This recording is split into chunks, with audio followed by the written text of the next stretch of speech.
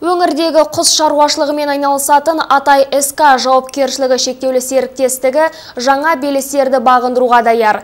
Қазақстанның бүкіл әлемдік сауда ұйымына өтуі серіктестіктің шетелдік кәсіпорындармен бәсекелестікті арттырып, сапаны жақсарта түсуге септеседі.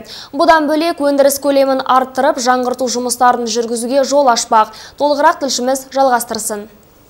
Бұл өңірдегі іргелі кәсіпорындардың бірі АТСК жауапкершілігі шектеулі серіктестігі. Құс өнімдерін өндірумен айналысатын кәсіпорында бүгіндері 420 мың бас қанатты бар. Мемлекет қолдауының арқасында қарқынды дамып келе жатқан серіктестік биылғы жылы өндірісін жаңартып, жылына 106 миллион дана жұмыртқа шығаруға қауқарлы болған. Яғни өндіріс қуаты бірден 30 пайызға артыпты.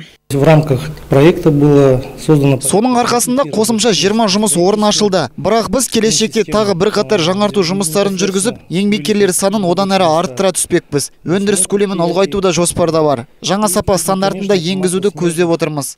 Кәсіпорынның бүгінгі күні алға қойған мақсат айқын. Оның үстіне еліміздің бүкіл әлемдік сауда ұйымына ену аясында қазіргі таңда кәсіпкерлер алдында көптеген мүмкіндіктер ашылып отыр.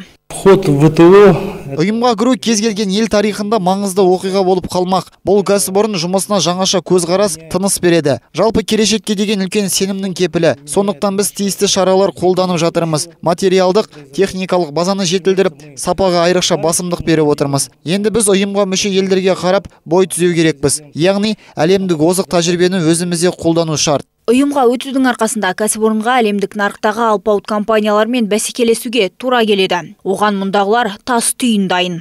Мағжан Ахмадина, Владимир Боровков, муниципалдық телеарна.